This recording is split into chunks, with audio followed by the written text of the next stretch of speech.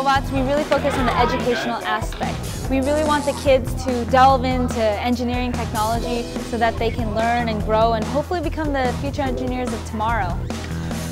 I love coming to this place because I get to actually build something. It's something we call circumference. We start with kids as young as five doing a project we call Fun with Technology where they learn electronics and circuits. It's called closing the circuit. Move on to mechanical robots, the mech bots, motors, wheels, gears, metal.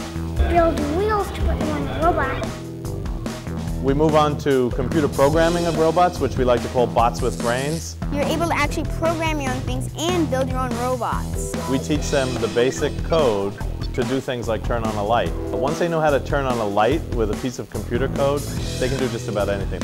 It feels nice to know that you uh, can actually do something, like program free LEDs to blink up in a moving pattern. And the kids teach each other.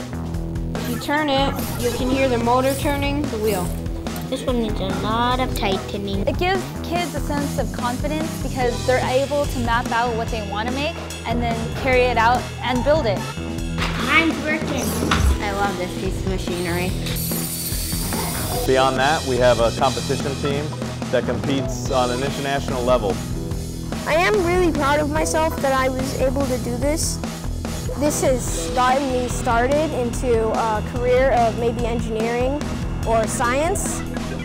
That's the best place I ever went all summer.